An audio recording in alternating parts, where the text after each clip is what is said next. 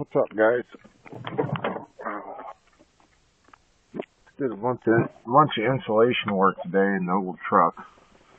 Um, first off, you can see I filled the side the box, basically, except for where this little speaker is hidden back in here. I tried to keep him from getting completely covered. He did get a little on. I had to wipe it off, but still works fine. Um, I know it isn't pretty, but I don't care because this is my tank, my beast truck. It's just loud.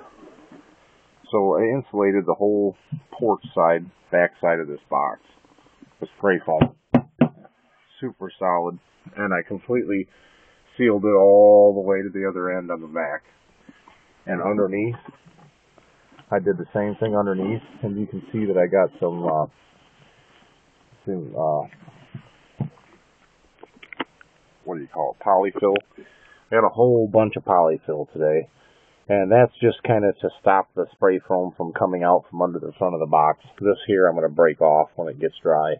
I'll just grab a hold of it and rip it out of there and I'll cut it even, you know, and pull it out of here by the window and stuff. Basically, it was to get the side of the 18 port uh, totally, you know, insulated on the side and on the bottom. And I did the same thing on both sides and the bottom. So it's absolutely 100% insulated. Then, next step of insulating today is I told you guys I put a whole bunch of spray foam up in here. Well, I did do that, but it's not completely filled. It just went in funny spots and crevices because I pulled my light out. It actually disintegrated my light. The bass did. It was bouncing so much that the light fell apart in there and quit working. So I took the guts out, threw it away. But basically, I pulled that plug out and reached up in there and filled the entire ceiling with polyfill everywhere where there wasn't spray foam. So now it's absolutely dead sound, no matter where you're at in the ceiling. It still shakes the front of the roof up here pretty violently when I got it turned up, which if I push up real hard on this, it stops. So I could put a pedestal here, you know, if I put more subs in or whatever to stop that. But basically I got it all insulated. Oh yeah, and the front doors. Polyfilled those too. The whole thing both front doors, completely polyfilled. Oh, you can see it poking out right there. So no sound gets out of here now. It just beats you up. It's much better, much much more insulated. So I'll get doing some demo videos in a couple days. I'm happy with the 118 and the 210 guys. Uh, I tried unhooking my 210s the other day, just listen to the 18, and it just doesn't have near the high bass as it does with the 10s.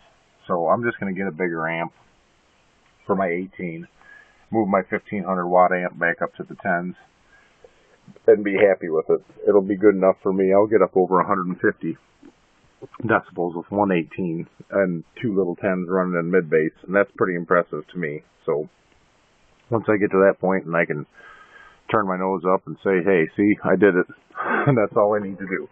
So 150 is my goal. If I can get 150 with three, I'll be good or close to it.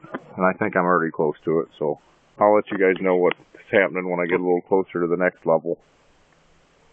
But yeah, super hyper insulation was the word of the day today. I mean, this thing is crazy insulated. I just took a ride with my buddy and it bangs big time. So, peace out.